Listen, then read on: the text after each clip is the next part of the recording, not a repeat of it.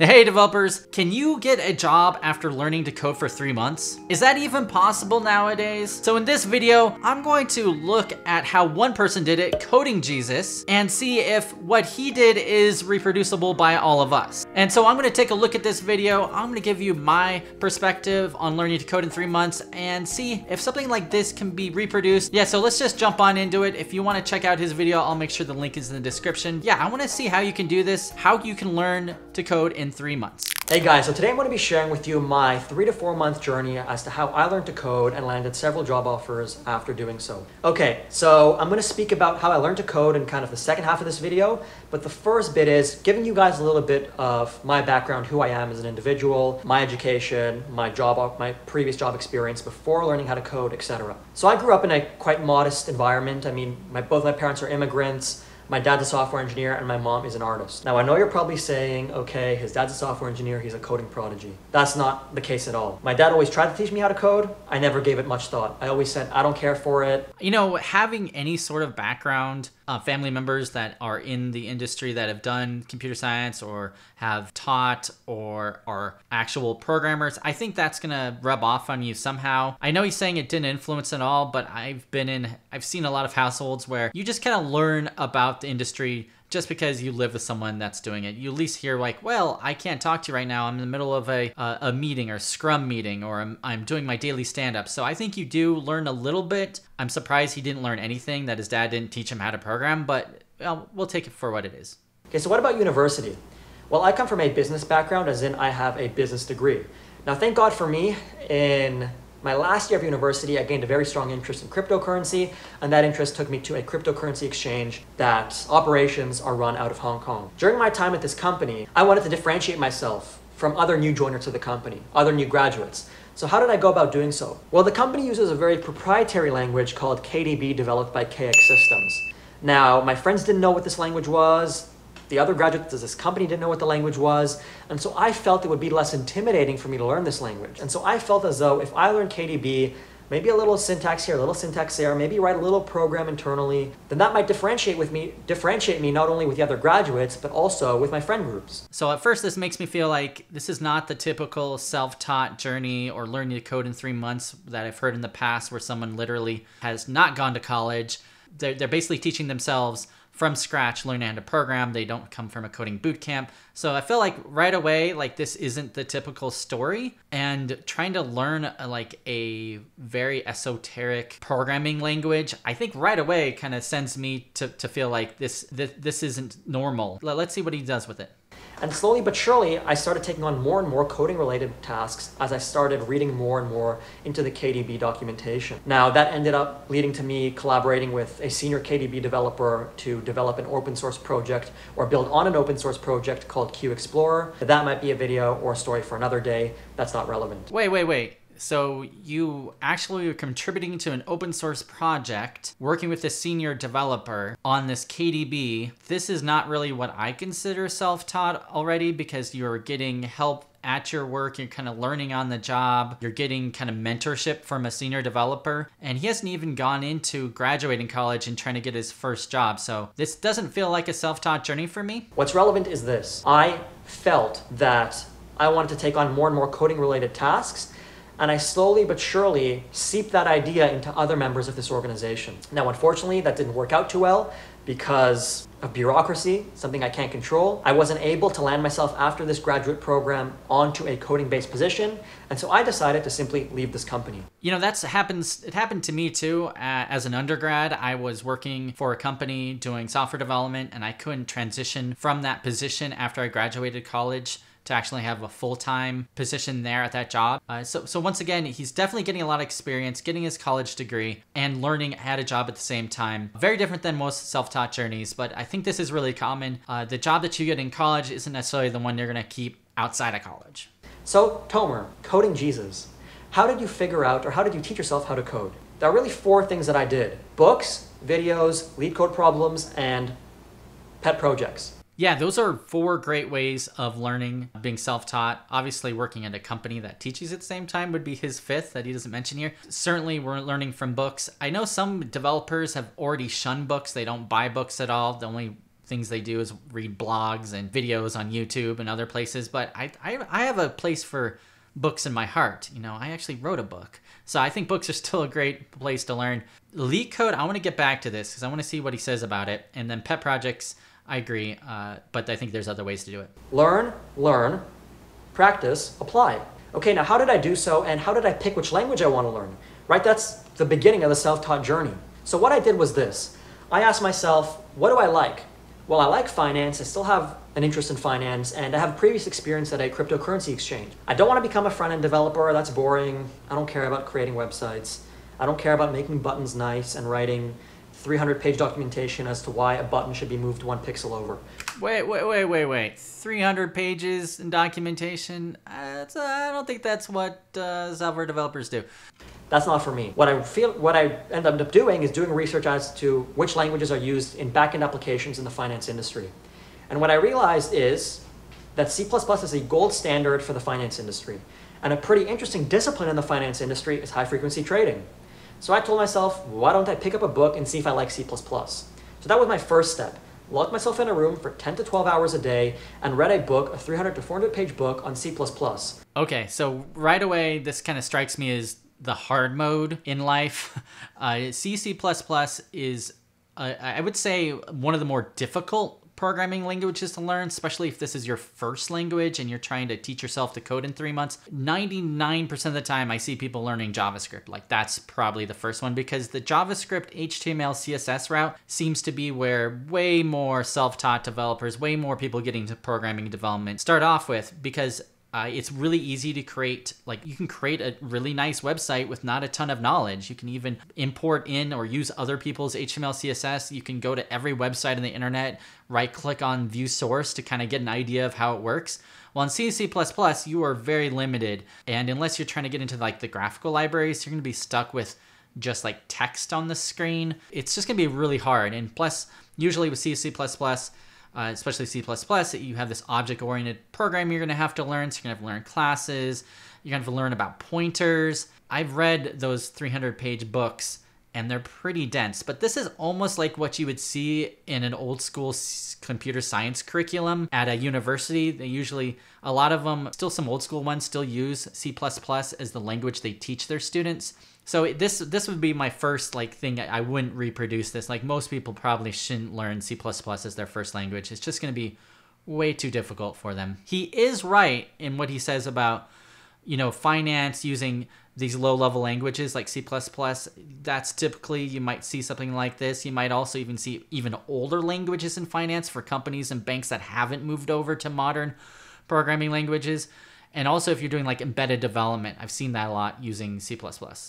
So what did I do next? Well, you can only read books before, for so long before your, your mind just melts and it doesn't absorb as much knowledge as, as you'd like. So what I decided to do is mix up my reading regime with a regime of watching videos. Now I decided to subscribe to Pluralsight. I consider it a more legit Udemy. And Pluralsight offers you learning paths you can go down. So I like C++ and I decided to do the learning path, the C++ learning path on Pluralsight and moving from those beginner videos to intermediate videos to advanced videos while still having books by my side and reading through maybe 100 pages a day, doing 10 to 12 hours a day, no weekends. I mean, that's pretty intense, 10 to 12 hours a day. Once again, I would see most people would like burn out on that type of schedule in like, I don't know, a week or two.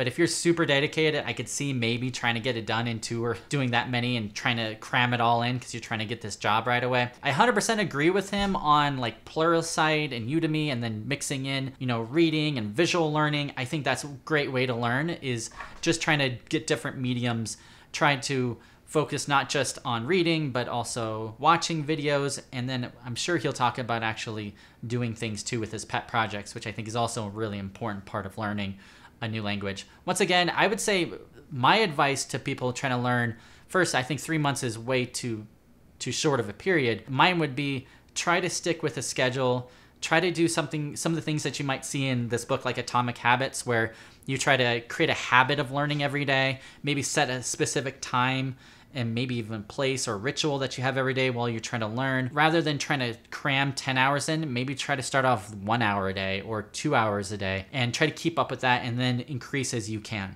Now, at around, at around the two month mark, I committed myself to starting to interview. Now, to interview, you need to understand data structures and algorithms.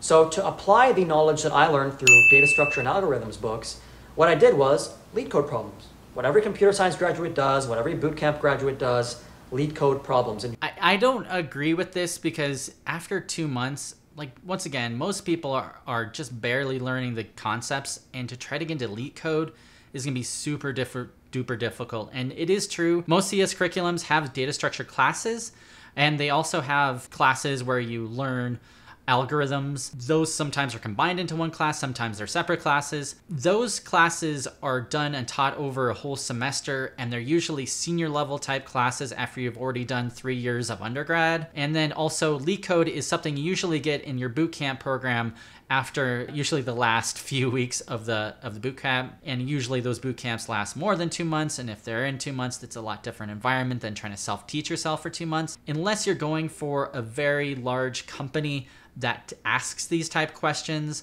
like the Amazon or Facebook or Netflix or something like that you're probably better off just working on your portfolio and making sure that's up to snuff and being able to answer some of those basic questions that you get during interviews like can you reverse a linked list? Can you reverse a string? And rather than trying to do all these algorithm type questions, which are going to be extremely difficult, especially if you just started learning to program.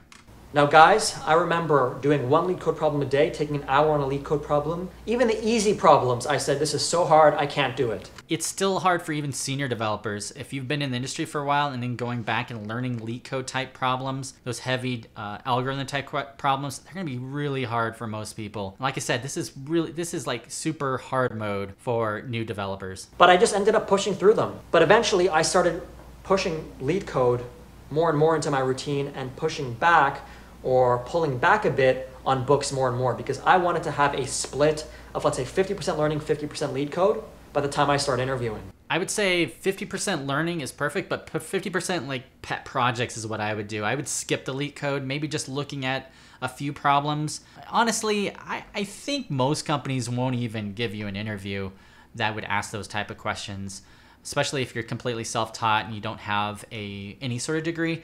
So what did I do to land now interviews? So I have some knowledge.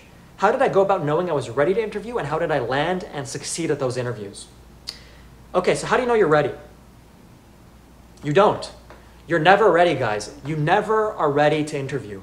And that's the whole point of interviewing. It's to get your feet wet to understand what you do well and what you do poorly in. I 100% agree with that. Like, you should always just jump into the interviews. You're never going to feel like you have enough knowledge or you're ready. So, I would say jump in, start getting your feet wet, trying to get interviews with as many people as you can. Now, I don't think you should do that after one month of learning to code or two months. I'd say at least get a little bit more of a foundation down but then I would always uh, I would always err on the side of just doing more interviews and trying. Now, what I suggest is interview at companies you don't want to actually get a position at first, so that you can see how the interview process works. You can get your feet wet. You can be less nervous, such that when you interview at the companies you want to work at, you already understand how the process works and you're more comfortable. I've heard this advice a few times from a few different people like you should just interview places you don't want. I don't really love that advice. I think it's better to interview places you do want to be at or places that are like your lukewarm medium, but you should never apply for a place you don't want to go for. I think it's just dishonest. Like I don't feel like you should go through the interview process at a place that you don't want to go be at at all because then it feels like if you do get the offer, then you have to like it's a big waste of time for them, and I, I just don't like it. I, I, feel like at least interview places that you are somewhat interested in. Now, a big part of interviewing is not only the algorithmic problems. You should be comfortable doing those via the LeetCode regime that you've implemented into your daily routine, but how you differentiate yourself as a self-taught developer against computer science graduates and against boot camper. You need to now differentiate yourself in terms of what do you do that these people don't. Okay. So what did I do? This is a story about me, my journey, what did I do? So I built up a portfolio of pet projects. Believe it or not, many boot campers and many computer science graduates do not have a portfolio of pet projects. Yeah, this is true. Like I 100% behind the pet projects idea, creating a portfolio of trying to show what you can do is, is a great way of getting your name above the rest or get your application the top of the pile, so to speak. I also think there's a whole bunch of other things you can do of having an, a very solid resume. Uh, there's a lot of different things you can do. I think portfolio is just one of one thing you could do. I think there's many other things you can do to get your name at the top, especially if you're self-taught and you don't have any work experience, you don't have a boot camp, you don't have a CS degree. Unfortunately, having a CS degree or having being a boot camp grad is sort of a cheat code. It's sort of an unfair advantage for people looking for developer jobs. A lot of companies will look at a CS grad or someone with at least a education or they'll look for a prestigious or well-known boot camp and that will really will help them will help get through the recruiter to actually get a phone call with somebody so having something that kind of catches the recruiter's eye that gets past hr so you can get an interview really helps. So what were my pet projects? Well i have three pet projects. The first one is i developed an algorithm to crack a jane street puzzle. Now if you don't know what jane street puzzles are you can go google it. In general, they are very well known in the finance stream, the stream that I wanted to get into, and they are puzzles that people spend a bunch of time trying to crack. There are thousands of applicants, and maybe only 40 people get their name on the leaderboard and actually end up cracking the puzzle. That that's really insane and good for this guy, Mr. Coding Jesus, for doing this. But I, uh, once again, like I've heard portfolio projects like creating personal blogs, creating games is really popular, and a lot of people do it. I've never heard of like a finance industry app. I, I think that would definitely uh, make you stand out though. Okay, the second thing I did was I built a 2D platformer using a C++ library or framework, whatever you want to call it.